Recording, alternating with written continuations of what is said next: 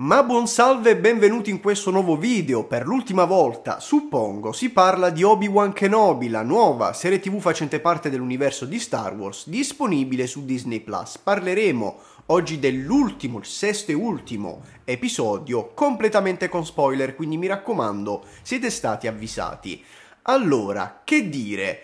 Diciamo che la mia opinione generale sulla serie, ormai la sapete, non è variata più di tanto nel corso degli episodi. A me questa serie è piaciuta, nonostante comunque ci siano delle palesi limitazioni, secondo me autoimposte da Disney, perché Disney un po' si è scavata la fossa da sola con questa serie TV, ma in generale con tutte le serie TV eh, quasi tutte dai su Disney Plus, con questa idea sbagliata in partenza di voler sfruttare soggetti cinematografici per delle serie TV e quindi creando dei prodotti annacquati in una maniera allucinante, nonostante comunque queste palesi limitazioni, a me la serie ha intrattenuto, mi è piaciuta. Ci sono anche altri problemi come il voler eh, ogni volta forzare la mano con il canone, quindi abbiamo, ne abbiamo già parlato, una Leia che è molto più vicina a Obi-Wan di quanto lo sia mai stato Luke in episodio 4 e a me il rapporto tra lei e Obi-Wan in questa serie è piaciuto veramente tanto, ma abbiamo anche un Luke che scampa tanto così da un incontro ravvicinato con una spada laser, non avviene perché sviene prima, scusate il gioco di parole,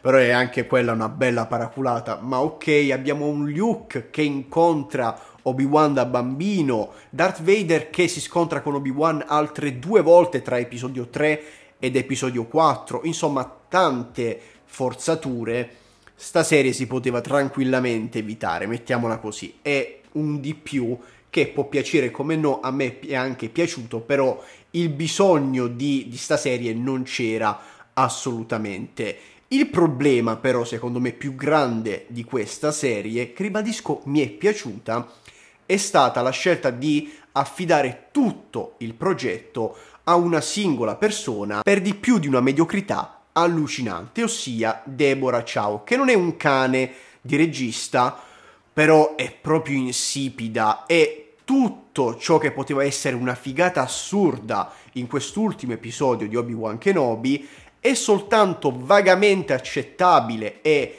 caruccio, ma non per via della regia di Deborah Chow, per tutto il resto, perché lo scontro finale tra Darth Vader e Obi-Wan mi è piaciuto per via delle coreografie, mi è piaciuto anche per via della musica che riarrangia temi vecchi a temi invece nuovi e fatti apposta per la serie in maniera molto ma molto figa, però la regia elimina qualsivoglia tipo di epicità dallo scontro. Con sti cavolo di campi lunghi ogni due secondi, tagli continui e anche il fatto che la sequenza d'azione sia stata intervallata più volte da altre scene che riguardano Reva, quello ci sta anche, adesso mo ci arriviamo a parlare di Reva, ma quello ci sta anche, è una cosa che viene fatta molto spesso nei film per, diciamo, allungare un minimo, per estendere una battaglia che se no eh, sarebbe tipo di 3-4 minuti, viene fatto anche tipo in episodio 3 eh, lo scontro tra Anakin e Obi-Wan in episodio 3, comunque intervallato da altre scene che riguardano tipo l'Ordine 66 e compagnia bella, Yoda che mena un pochettino di cloni. E insomma avete capito, quello non è il problema, ma proprio la messa in scena dello scontro mi ha lasciato veramente tanto a desiderare, nonostante comunque ribadisco ci siano anche alcune mm, cose carucce, eh, come per esempio Darth Vader che eh, riesce a mandare nell'abisso eh, Obi-Wan in modo da stare in alto, quindi avere l'high ground, esattamente come eh, diceva um, Obi-Wan in episodio 3, o anche lo scontro finale con Darth Vader che eh, si ritrova con metà casco eh, scoperto, esattamente come è successo in Rebels contro Ahsoka, e anche l'idea di unire la voce di Vader a quella di Anakin, quindi in italiano sentiamo Ward e Pezzulli, mi è piaciuta veramente tanto, però a livello di messa in scena tutto il combattimento poteva dare molto ma molto di più nelle mani di un regista decisamente più capace, così come tutta la serie. Io non capisco perché veramente affidare un progetto così importante Uh, a Deborah Ciao, boh, non, non, ho proprio capito. Deborah Ciao che ha anche diretto alcune robettine eh, di The Mandalorian, ma non si era mai, non lo so, non era mai spiccata rispetto ad altri registi. Ma anche una Bryce Dallas Howard, un Taika Waititi hanno dato molto di più a Star Wars di quanto abbia mai fatto Deborah Ciao. Uh, poi vabbè c'è anche John Favreau e Filoni che a me fanno abbastanza cagare. Filoni dal punto di vista delle serie tv animate ancora ancora, ma uh, quando si parla di The Mandalorian il piattume più totale, ma non dobbiamo parlare di questo.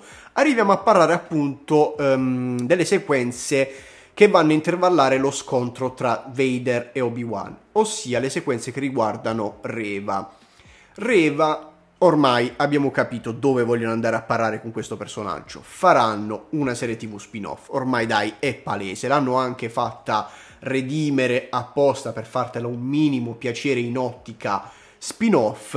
La domanda è: voglio vedere uno spin-off su Reva, ma manco per il cazzo. Però probabilmente lo faranno perché eh, Disney sta cercando in tutti i modi di mungere il più possibile l'universo di Star Wars. Sia ben chiaro, non abbiamo ancora l'ufficialità, ma lo fanno. Dai. L'idea di una Youngling sopravvissuta all'Ordine 66 che diventa inquisitore per vendicarsi di Vader è un'idea fighissima sulla carta, ma avrei gestito il tutto in maniera decisamente diversa. Per esempio, avrei rivelato questa cosa eh, tipo al secondo episodio, dal secondo episodio, in modo da avere una sorta di eh, creazione della tensione alla Hitchcock, nel senso che lo spettatore sa esattamente cosa sta succedendo, ma quando Vader e Reva interagiscono si crea una tensione di detto e non detto, molto ma molto figa, perché appunto lo spettatore sa che cosa sta succedendo, c'è appunto un infiltrato nell'impero, infiltrato per dire diciamo qualcuno che vuole vendicarsi di Vader, ma Vader ancora non lo sa e sarebbe molto ma molto figo. Invece qui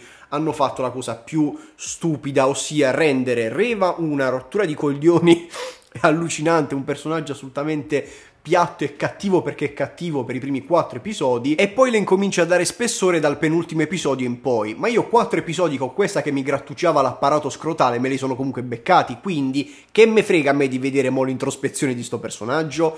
Non è stata gestita al meglio. Ora, parliamo invece della cosa che mi è piaciuta veramente tanto perché gestita in maniera certosina, secondo me, tranne in un piccolo passaggio, ma adesso ci arriviamo, ossia il fanservice. Questa puntata è foderata veramente come non mai di fanservice, però tutto fanservice abbastanza contestualizzato. In alcuni casi è proprio leggero, tipo un Vader che dice non sei stato tu a Obi-Wan, dice non sei stato tu a uccidere uh, Anakin, l'ho ucciso io e quindi mi contestualizzi la frase detta da Obi-Wan a Luke in episodio 4, quindi Darth Vader ha ucciso tuo padre, una piccolezza ma mi è piaciuta oppure il casco um, esattamente casco diviso a metà esattamente come è successo in Rebels. E dera a un certo punto Obi-Wan dice e dera al piccolo Luke mi ha fatto molto ridere. Per poi arrivare a fanservice un pochettino più cicciotto e quindi vediamo Palpatine e anche in questo caso è abbastanza contestualizzato. E poi arriviamo al finale dell'episodio vero e proprio con l'arrivo di Qui-Gon Jinn.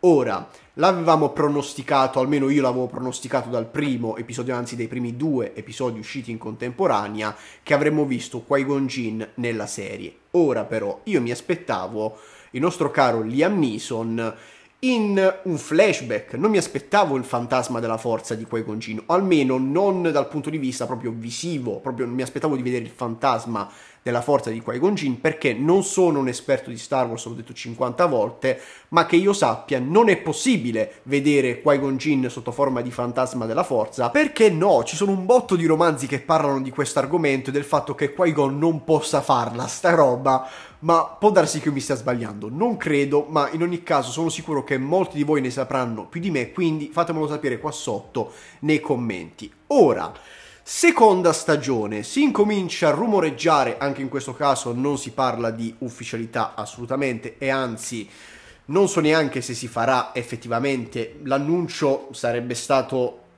intelligente farlo nella post credit esattamente come era stato fatto con eh, Loki. Invece no, non si sa niente di un'eventuale seconda stagione di Obi-Wan però parliamone un minimo perché si rumoreggia. Cosa potrebbero fare in una seconda stagione di Obi-Wan? Posto che se la prima stagione di Obi-Wan è assolutamente superflua, figuriamoci una seconda.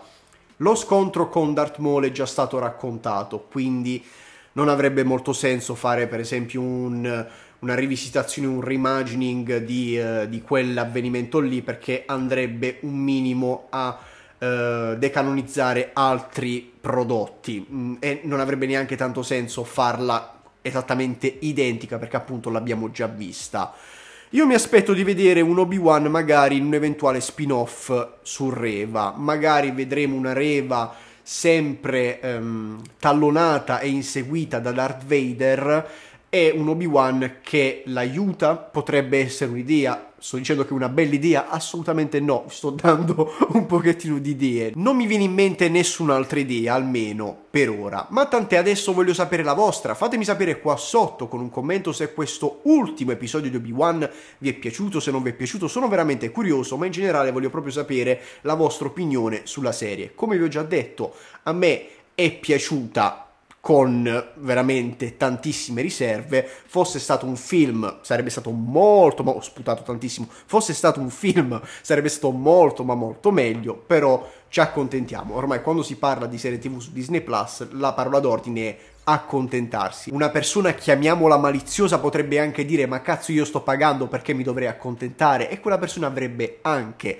ragione, ma tant'è. Noi ci vediamo alla prossima, in generale ci vediamo quando ci vediamo. Ciao a tutti ragazzi!